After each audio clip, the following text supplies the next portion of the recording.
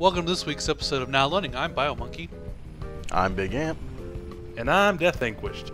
back from another week off. Yep. Why were we off last week? Oh, because Ant over here was in Orlando riding roller coasters and shit. Dude, you're just jealous you didn't get to ride the Dumbo teabag ride. Even a ride. Besides, you two have been doing now loading by yourselves for years now. Why do you need me to be here to do an episode?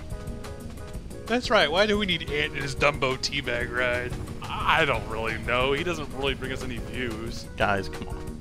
Ant, you're fired. That's fine. I'll go make my own mission source editor. It would look better than Reach. Eh, kill him anyways.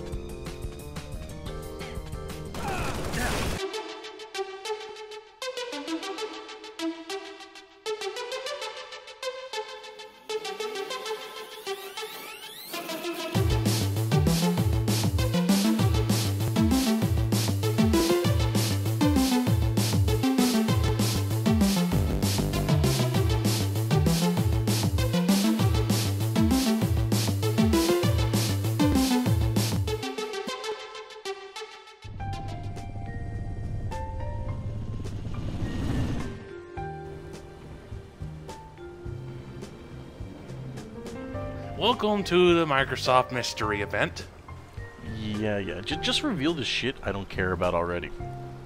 Now, just let you know, the hardware isn't worth anything if it isn't for the software. Oh, oh, software that you bill is exclusive and then give it to everybody else. This is the Microsoft Surface. Wasn't there already a Microsoft Surface? Looks good, right? It comes with a keyboard and trackpad. It supports a stylus. Seriously, dude? A, st- a- a stylus? Wow, pulling out the 90s tech as a feature. Time to move on to the software. Okay, thanks for showing up. Goodbye. What, eh, wait, what, what about the whole hardware not working without the software to support it?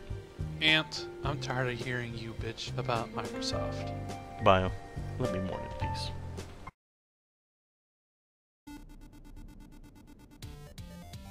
EA will never stoop to sales like Steam does. Cutting games up to 75% off is a mockery to the hard work put in games. But it makes sense on games that are a few years older and don't sell anyways. I understand that, but doing reductions on that scale hurts the consumer's perception on how much a game should cost. That is actually true. But don't we do the same thing, but in the opposite direction? Whatever could you mean? Well, don't we use piracy as a scapegoat to keep prices inflated at $60? that is entirely different. My point still stands. We will not do any massive deals like that.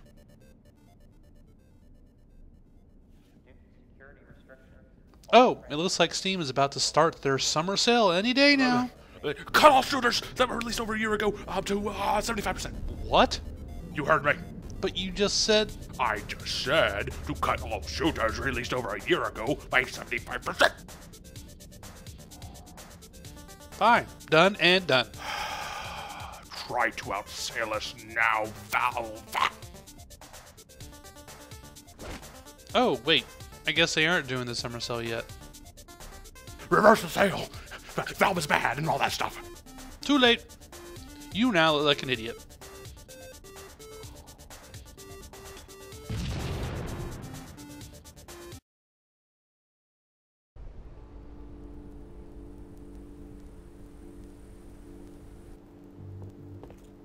Well, it looks like I'll have to pick up Left 4 Dead 2 for the Xbox 360 again.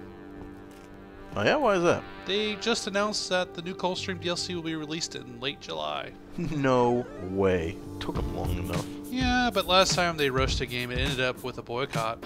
Oh yeah, I forgot about the Left 4 Dead 2 boycott.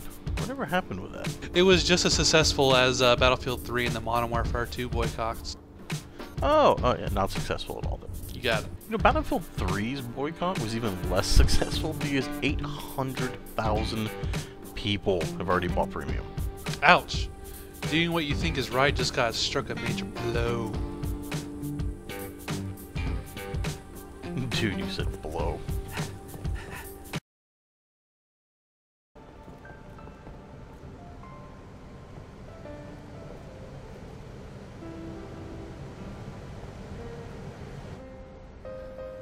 Uh, Mr. Kotick, you asked for us? Black Ops is getting reserved by the assload, but that's not enough. It needs to be a shitload level, maybe a fuckload for me even to be satisfied. How can we increase pre-orders? Well, why don't we announce a Hardened Edition already? I think a lot of people who have Elite are waiting for a Hardened Edition announcement before they pre-order, because they don't want to risk being billed for another year of Elite when you may actually release a version that comes with another year. That is preposterous. Get out of my sight.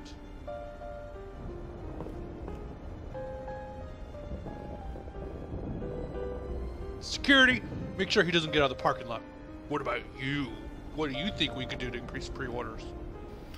Well, um, uh, mm, yeah, we, we could give our most popular map from Black Ops a reskin and throw it in as a pre-order bonus. My god, a pre-order bonus. Why have we never thought about that before? No idea. Yes, one map reimagined in the same engine it was just released in almost two years ago. It will be the biggest incentive in Call of Duty history. Really? Biggest? I thought getting Call of Duty Elite for free with a hardened edition would. Silence! Get out of my sight! Can I get one of those little brown boxes that I can put my stuff in? No!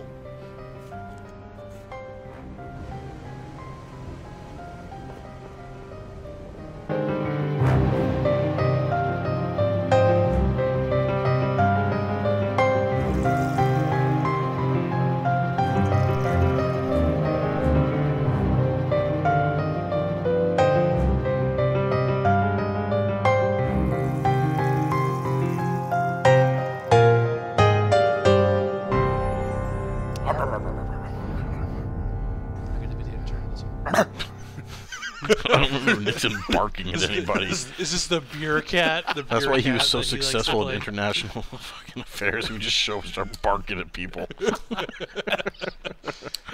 China! Exactly. oh, okay. I don't want to mess with that guy.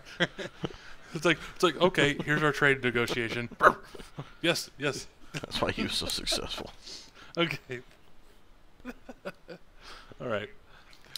EA will never stoop to sales like Steam does,